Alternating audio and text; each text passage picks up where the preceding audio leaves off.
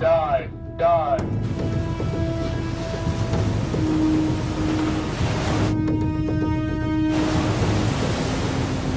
You can't see her. She can dive to over 250 meters and stay down for six months. You can't hear her. She can run for 20 years without refueling. She is the most lethal weapon ever designed. Battle stations missile. An apocalypse machine capable of devastating entire continents.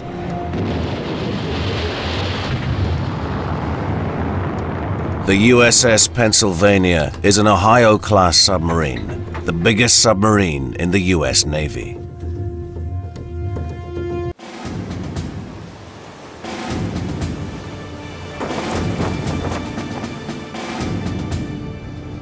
15 degrees rudder, steady course 320. Captain Bradford S. Neff is taking the USS Pennsylvania and its crew of 165 men on a patrol.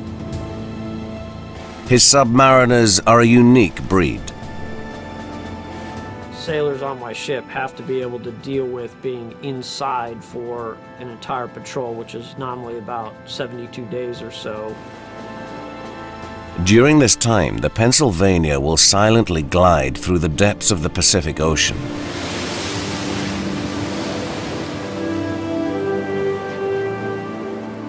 Invisible to her enemies, she is primed to unleash her awesome apocalypse in an instant.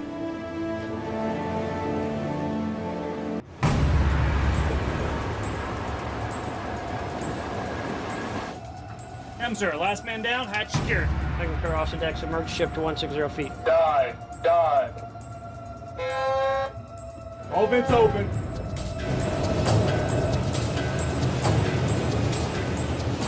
Five six. Six zero. Once her hatch is closed to dive, her crew are sealed inside the submarine for the duration of their mission.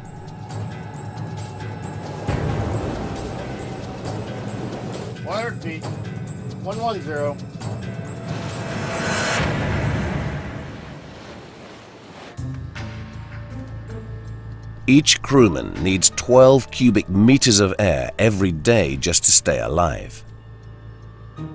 More if they're working hard.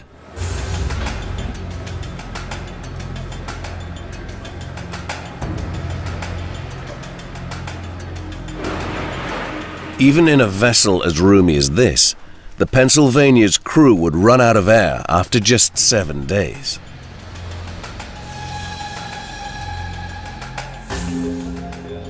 So where do they get their air from? The answer? The very thing they're traveling in. Seawater. By passing electricity through the water, it's possible to split the substance into its component parts, hydrogen and oxygen. Chemist Andrew Szydlo will demonstrate how this works. So we have this apparatus set up here. The positive electrode here is giving off oxygen, and the negative electrode here is giving off hydrogen. What I'm going to show you now is that we can collect the oxygen and then reignite a glowing splint with it, thus proving that that's the gas. So I'm going to now turn our tap very carefully here. We now have a tube full of oxygen. Uh, we're now going to do the classic test for oxygen gas, which is to see whether it relights a glowing split. There we go. One, two, three, four, five. A new world record, six. Absolutely brilliant. So there we are. Oxygen from water by electrolysis. Electrolysis is also used on the Pennsylvania to make oxygen from seawater, but on a much bigger scale. Here we have the oxygen generator. Her nickname is Paris, after the Hilton sisters. Number one, she's actually Nikki, because we think Nikki's better. No offense. Nikki produces over 4,000 liters of oxygen every hour. The oxygen is used to replenish stale air, which is then circulated around the vessel. Pure, clean air, thanks to the Hilton sisters. We need to breathe. And if she doesn't make oxygen for us, then we can't breathe. So we like to tend to her, keep her happy. Over two centuries ago, the Turtle's operator could stay submerged for just 25 minutes. On the Pennsylvania today, the supply of air is limitless. When people first built submarines, they didn't really know how to control them, so they looked to nature for inspiration, and they copied the fins of a fish by putting metal fins on the side of the submarine. The USS Pennsylvania also has fins, called planes. They are operated by two of the youngest crewmen on the ship. This watch station here is one of the first ones we qualify our young uh, operators on. And some guys as young as 18, 19 years old are actually driving the submarine through the water. He's got control of these Fairwater planes right here. And they're very good at depth keeping. The operator's instructions are transmitted electronically to the Fairwater planes. By adjusting their angle, he can move the submarine up and down in the water. The Pennsylvania has a second set of planes at the rear. Outboard controls the stern planes, which you can see with this gauge right here. The stern planes are all the way in the back of the submarine, much like the elevators on an airplane, they control the ship's angle.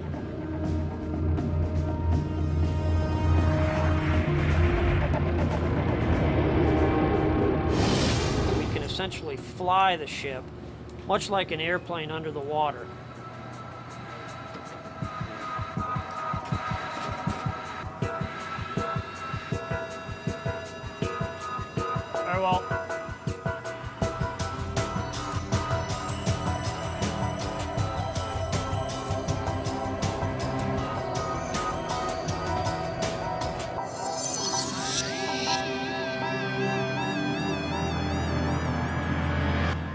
Meal times, we generally go up or down level deck so we don't send the food, the drinks, and everything else sliding off the tables. But if we had to, we'd go up and down, and every once in a while, I'll exercise that, and they'll play uh, catch the plate down there.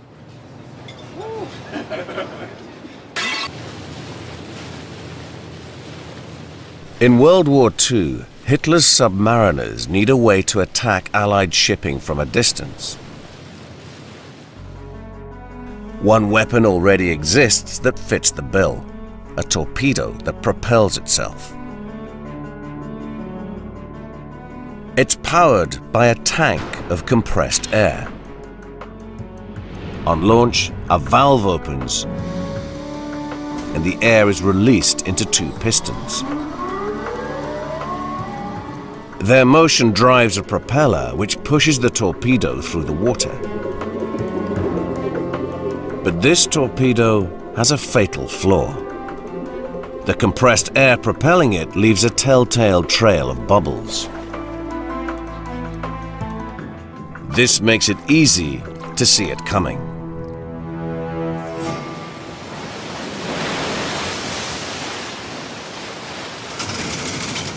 So the German Navy designed a torpedo that won't advertise its position with a wake of bubbles. It doesn't run on compressed air.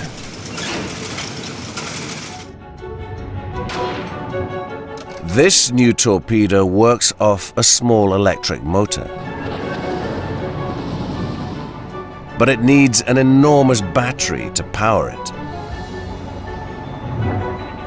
To accommodate the battery, the torpedo needs to be over 7 meters long.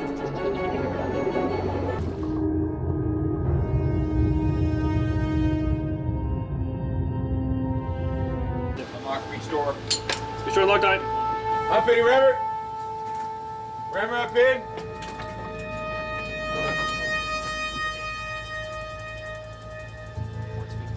Good speed. The Pennsylvania's Mark 48 torpedoes are not limited to firing in a straight line. These high-tech robots can be guided onto their target.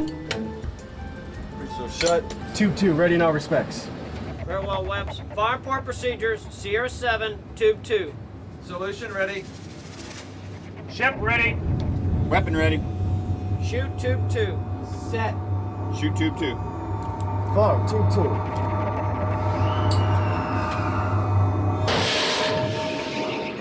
An optic fiber spooling out of the back of the torpedo carries the weapons officer's commands. This allows him to steer the torpedo towards the target.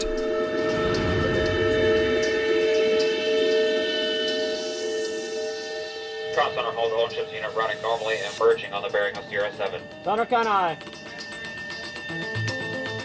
Helm right 15 degrees rudder, steady course 320. As the torpedo closes, its onboard sensors lock on and guide it in for the kill.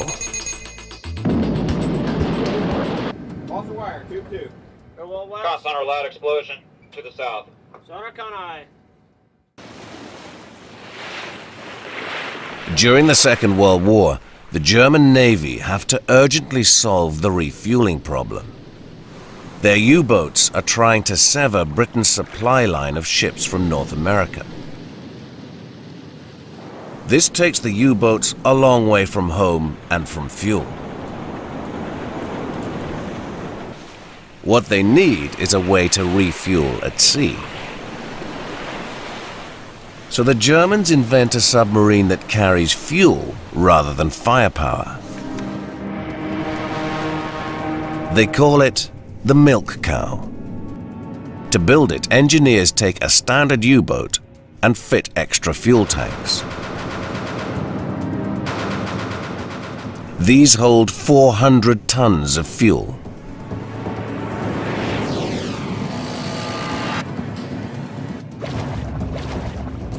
To deliver fuel, the milk cow must surface and row across a fuel line.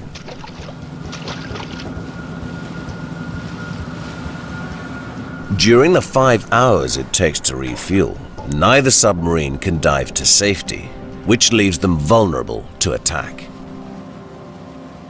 For the British, the milk cows were clearly a most important target.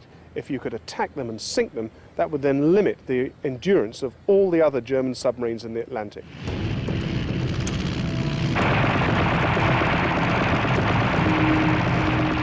By the end of the war, the Allies sink all 10 of the German milk cows. The lesson is clear. Refueling a submarine at sea is too dangerous. Engineers must find a way to make their fuel go further.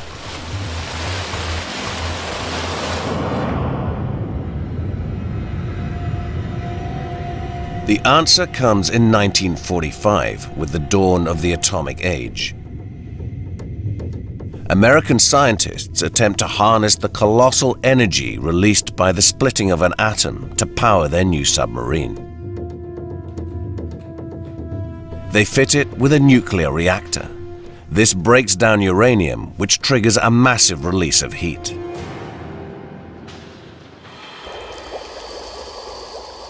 This heat is used to generate steam. The steam shoots through a series of turbines, forcing their blades to rotate at high speed.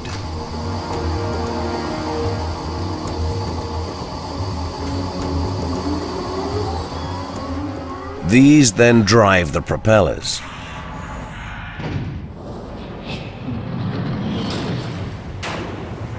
But the nuclear reactor is enormous, and to accommodate it, the new submarine has to be vast. The technical difficulties of getting a nuclear reactor into the confines of a submarine hull were just tremendous. No one had ever built a nuclear reactor of the required type before. No one had ever tried to deliberately put it inside a submarine and lower it into the sea. No one really knew just how much power you could get from a nuclear reactor. No one had done it before. American engineers rise to the challenge. and in 1954 unveil the USS Nautilus, the world's first nuclear-powered submarine. She has no need to be refueled at sea. She can travel an astonishing 100,000 kilometers on just 4 kilograms of uranium fuel.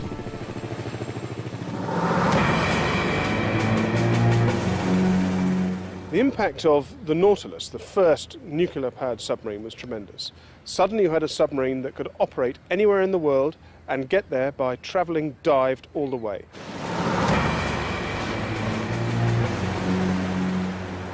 Today on the USS Pennsylvania, behind this watertight hatch, lies one of the most highly classified pieces of US military hardware the submarine's nuclear reactor. This reactor is far more powerful than the prototype that powered the Nautilus. It pumps out more than enough electricity to propel the 17,000-ton Pennsylvania through the water at 45 kilometers per hour. It also runs the myriad of machines and equipment on board. Fueled by a lump of uranium the size of a fist, there's no sign yet of it needing to come in for a top-up. This submarine was commissioned in 1989, 20 years ago, has not been refueled yet. The one thing that limits our ability to stay at sea is food. So it's fuel for the crew rather than for the submarine that limits the range of the Pennsylvania. She carries a three-month supply and it's some of the best chow in the Navy. Trapped underwater in a steel tube, food's also an important morale booster for the crew. Saturday night is pizza night. I hope somebody likes sausage. the, uh, the Philadelphia Barbecue Freeway off the chain pizza. Even during mealtimes, the crew are on constant alert. March support, march support. Fire March 91, fire from Grand Pump Controller. Sound the general alarm.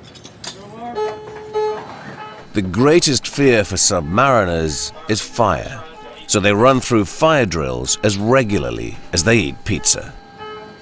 Helm right 15 degrees rudder, steady course 340. DC Citadel, torpedo, torpedo, record fire and zone emergency. They've learnt their lesson from the Russian submarine Kursk. She sinks in 2000 with the loss of all hands.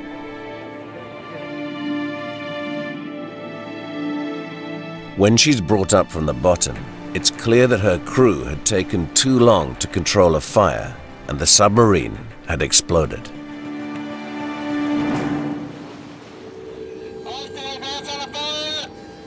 Captain Neff allows his crew just six minutes to bring the simulated fire under control.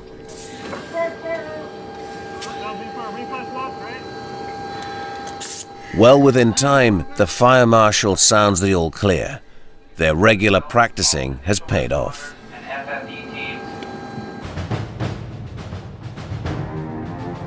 In the 1950s, scientists on both sides of the Iron Curtain raced to build a rocket-powered atom bomb.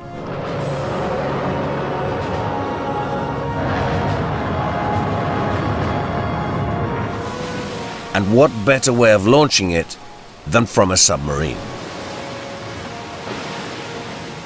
The idea of putting these things on a submarine was quite simple, that the submarines are very difficult to find and they are therefore a secure base from which to conduct a nuclear attack. The Russians were the first to do it.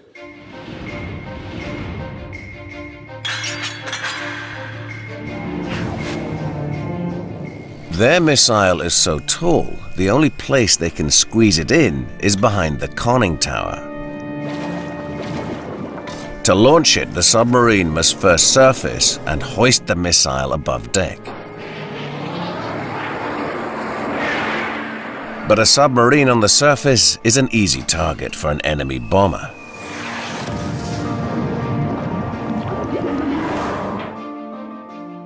The Americans want to take this Soviet breakthrough a step further and come up with a submarine that can launch missiles without having to surface first.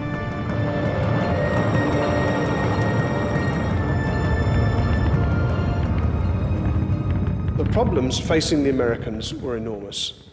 They were designing a submarine to launch these missiles from under the water. No one had ever fired a missile through the water before. Rocket engines need air to burn, so they won't work underwater. So the engineers consider using compressed air instead. So the secret is a seal that prevents water flooding into the launch tube when the missile hatch opens. A moment before launch, the seal is blown apart. Before water has a chance to pour in, a valve opens, shooting a burst of compressed air into the bottom of the launch tube. The air forces the missile out of the tube at over 80 kilometers per hour. It has enough momentum to cut through almost 40 meters of water.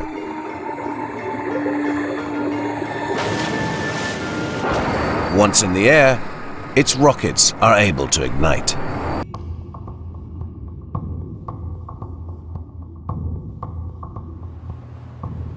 Man, battle station's missile. Chief Watch, sound general alarm.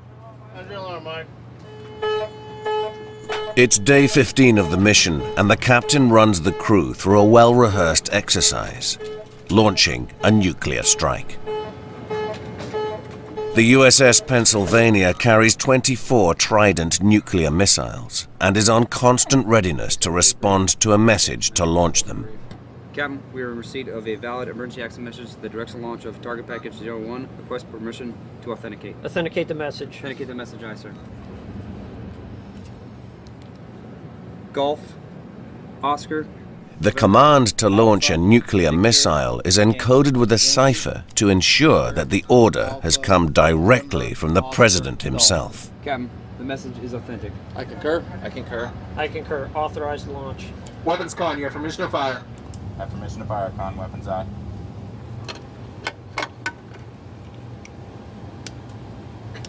Five away.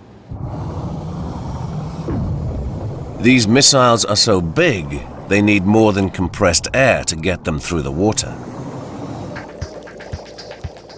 The Pennsylvania uses a small rocket fired into a tank of water.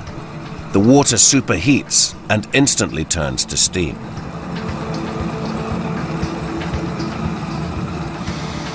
This column of steam propels the missile through the water into the air.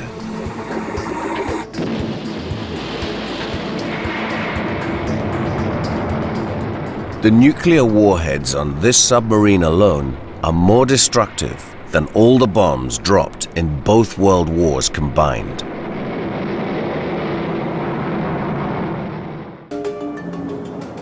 In the depths of the ocean, light doesn't penetrate the water more than a few hundred meters.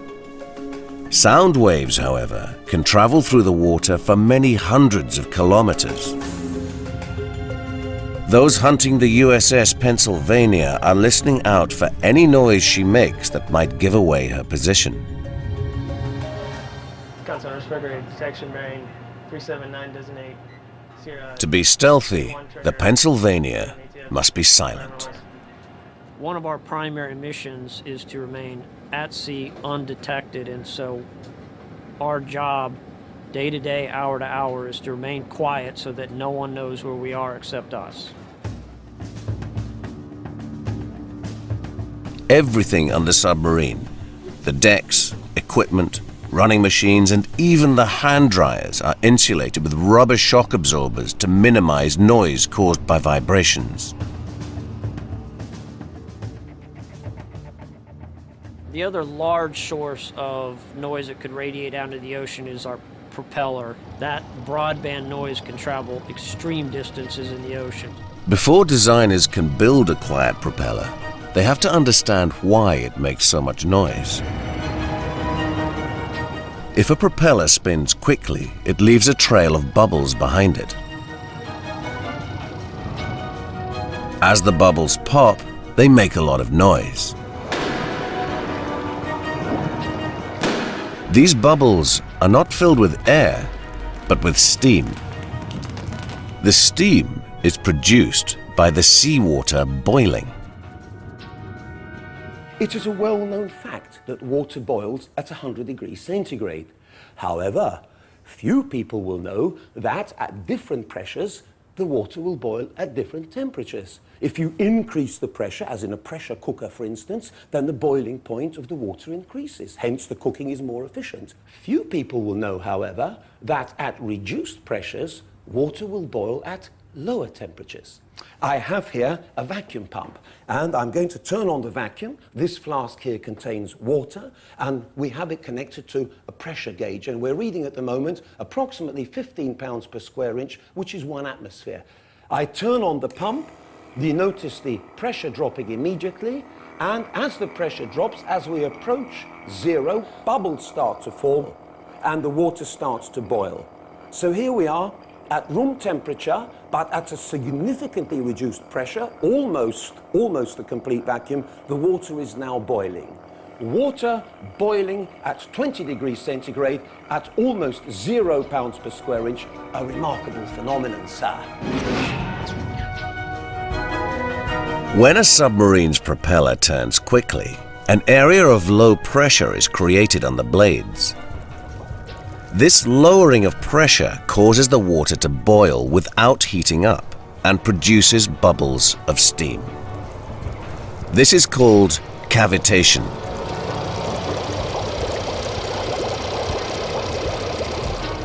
The formation of those bubbles is dependent on how fast we rotate our propeller.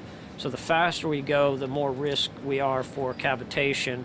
The Pennsylvania's propeller design is a closely guarded secret but the basic principles of a quiet running propeller are known. Cavitation only occurs when a propeller spins quickly.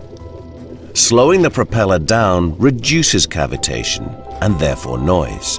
But slowing the propeller also reduces a submarine's thrust.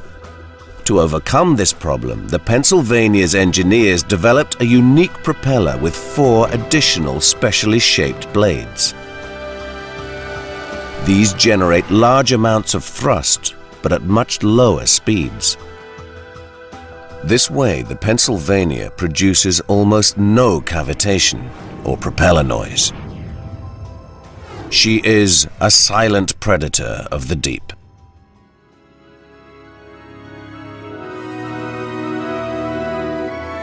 After 75 days at sea, the Pennsylvania glides quietly back to base her patrol completed. Twenty years after her launch, she is still the biggest submarine in the Western world. And she will remain so until someone builds an even bigger one.